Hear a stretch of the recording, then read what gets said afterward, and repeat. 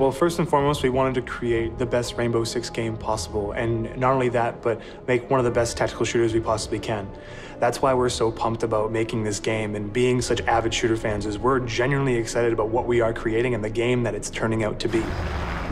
Travailler sur Rainbow, c'était un honneur, en fait. Un honneur, moi, ça fait partie de mes premières expériences de, de joueur, de, de, shooter. Donc, on, on se devait de sortir un jeu, de le faire grandir, en tout cas, d'être la digne suite de ce qui s'est fait précédemment sur Rainbow Six.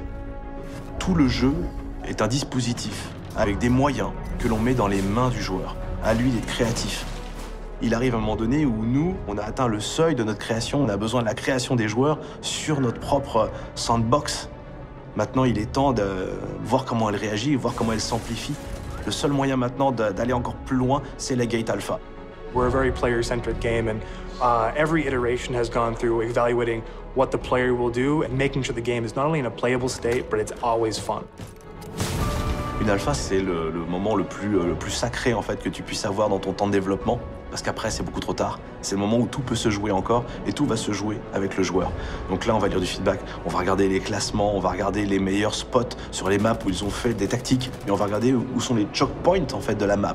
Tout ça, ça on va l'apprendre, mais mieux que ça, on va chercher des joueurs qui jouent et qui parlent. We have our own opinions on uh, what we've been making so far, but this is really the proving time to put it into players' hands and see what they think, uh, and having players interact with this thing that we've been building for a very long time. L'alpha est la suite logique du mindset qui a drivé cette équipe depuis le début. On sort de notre intimité de développeur. On fait ça pour ce moment-là, C'est ça le grand frisson. Sinon, il n'y a pas d'intérêt. Si j'avais pas d'inquiétude ou de peur, ça veut dire je m'en ficherais totalement. Et c'est tout le contraire. C'est tout le contraire. On vit pour ça. C'est ça, c'est ce moment d'adrénaline. Le moment où on allume, on commence à appuyer sur les boutons, on va envoyer la version, et voilà. Et ça arrive. Donc on vit pour ça.